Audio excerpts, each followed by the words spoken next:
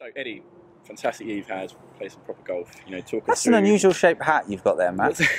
Thanks, Eddie. Straight out of the gate. It's quite an unusual shaped hat, that isn't it? I won't put your name for one then. I won't. No, I won't have to hide any other the truck it's like, when you. it's like trucker's hat. That. Thanks, mate. Yeah. Keep, well, the American roots in there. All right.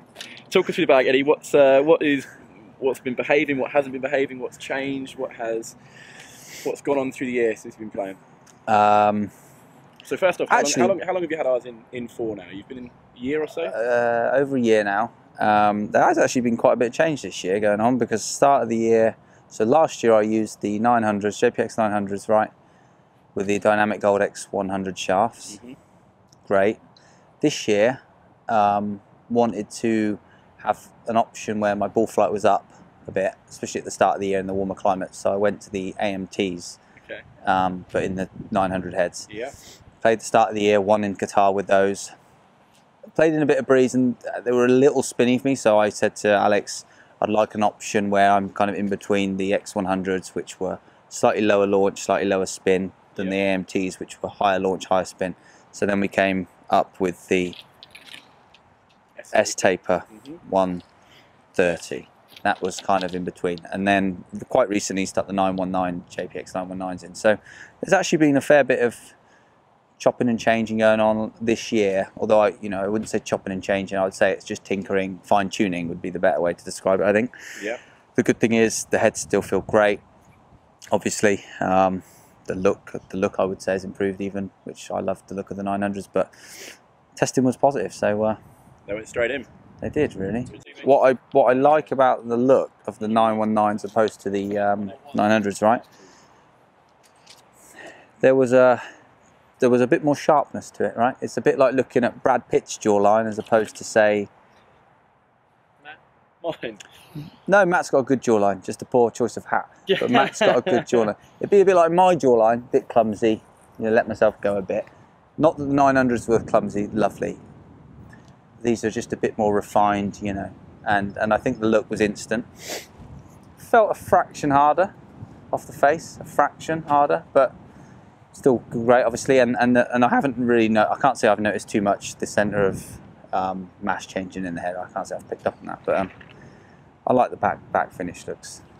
Taking away the blue, do you know what I mean? Now the blue is obviously quite iconic with Mizuno, but just having this whole area look clean, Clean and and sexy looking. Mm.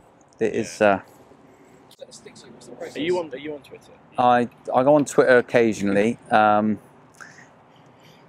I will find out through Twitter, or yeah, or I might go up to one of the guys and say, "What's on the horizon?" You know, what was what's on the horizon, and you'll say, and uh, you know, never. It's usually that way around as opposed to the other way around, um, which is fine. Listen, I'm not one of these guys who's particularly fussed or fussy over my equipment. You know, I'm interested in the new stuff, but uh, I'm not not not a golf geek in that sense. But um, my my golfing career would last as long as my 14 clubs. So I wouldn't ever change. It would be a reparation. It would be when can I for when do I want to repair a club, right? Not change a club. And if I didn't want to repair, then once the 14 have gone, that's it. The career's over. So um, fortunately, you know, we're spoilt out here, obviously. And although this year I'm contributing 50 pound for every broken club towards the Mizuno Christmas Fund. So uh, at the moment, I don't know what we're up to. We're a few At the hundred moment, we're in Seafair. at the moment we're um, no i mean yeah For, i mean listen i'm one of these lucky kids that i've never had i haven't had to pay for a golf club since i was ever actually because i had a dad who paid for it and then i was a good kid and a, a junior wise in terms of playing and a good amateur and i was always provided stuff so i'm, a- I'm one of those spoiled You posted a picture of a, an old yourself as a kid with a little Yeah, bag, that was actually um, Jamie, who caddies out here now. He was he was a coach of mine. Was one of my first coaches, and I was ten in that photo. And I used his um, bag. He, he was used to play Mizuno, and yeah, I used that in the photo for the Oxford Mail years ago. Yeah, so I always remember that. Very busy down the bottom side there, Eddie. What's what's going on wedge wise? Is this a is this a change for this week? Is this a an overhaul completely? What's what's going on? I almost always play with four wedges: uh, pitching wedge, 51 degrees gap wedge, 55 degree sand wedge, and a 59 degree lob wedge. Very, very rarely will I play with three wedges, but in case I do, I have a 53 wedge in for that. So I'd go pitching wedge 53, 59. Is that to is that to look after the end, other end of the bag? Is that I prefer to have more options at the wedge end of the bag because a I don't go for many par fives, so I like to have lots of wedge opportunities to make my birdies there. Also, if you've got a tough par four and you hit a bad tee shot, you can pitch out and gives you more opportunity to still make your four. So I like to feel like I've always got a um, a great a, a, a, good shot or a good chance from 140 yards inwards, which I do with four wedges. There isn't really a yardage I can never have where I'm kind of a bit stuck or having to manufacture. manufacture Whereas yeah. with three wedges, I experience that. So um, that's why I have four wedges. Five wedges in the bag, but only four that I would probably use. So uh, yeah. The good thing I've had going on the last 18 months with my swing is I've had only two or three swing feelings. So it's gotten a lot better at not having that restart feeling. So swing feels, I live off them it's like it's my blood really, it's my lifeblood out there on the golf course. So I like to keep them consistent and feeling fresh and you know I'm, I'm ingrained in it all the time. So definitely, but last week was quite interesting because it was so windy, cold, didn't really feel like I swung that well.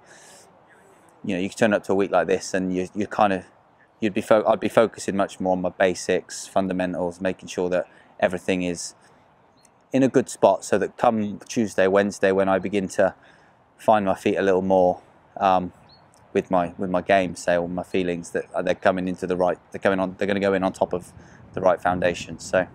So when you are when you when we were in Scotland last week and it is very very windy, do you do you consciously find yourself doing different things to try and? I I get my bad habit anyway is I tend to get really uh, I swing down and left.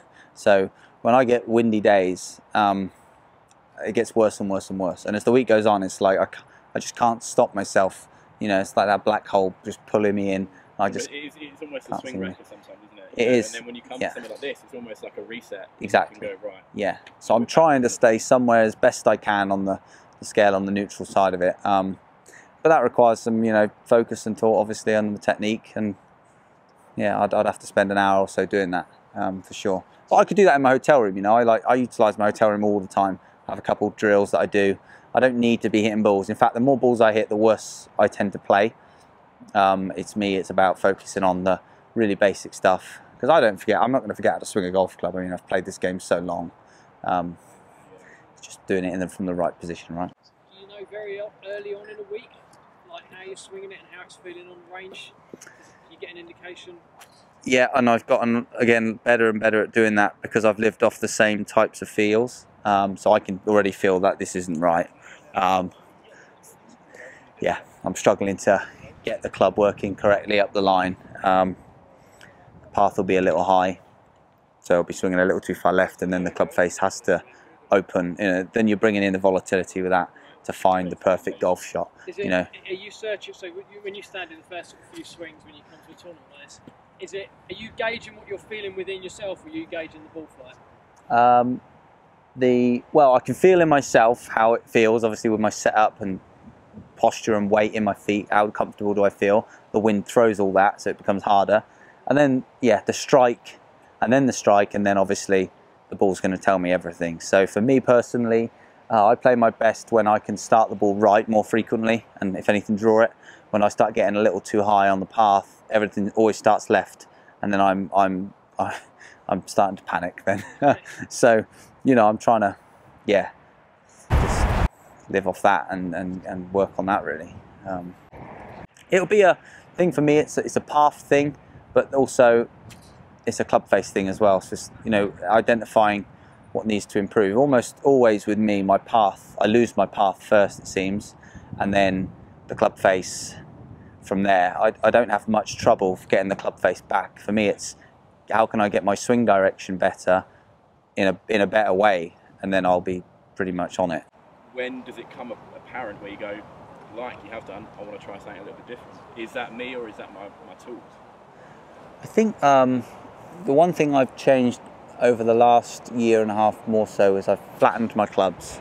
So if I was really struggling, um, it would maybe be the case that I would come to you and say, right, I want I want to get my clubs super flat because I've got this swing feeling and pattern going on, which is really not reacting well with a club head that's slightly more upright. Flatten it off. It's going to help my it's going to help my flight a little bit. But other than that, I'm just trying to fix it all myself. And yeah, I, I don't, you know, if if, every, if everything's obviously everything's set up pretty well with this club and it's all pretty much there. If the bad shots are going to be because of me, right? Yeah. So, but there is ways, obviously, of helping you a little bit. Now that matched up really nice. So I have two swing feelings, which I'll always play depending on the type of shot. So I'll almost always, and, and they'll be different from the range to the course. So I'll almost always warm up with a swing feeling that matches my reroute drill that I do. But when I go and play golf on the course, I like to feel the other feeling because it feels more anti-left, so I can take more on with my irons.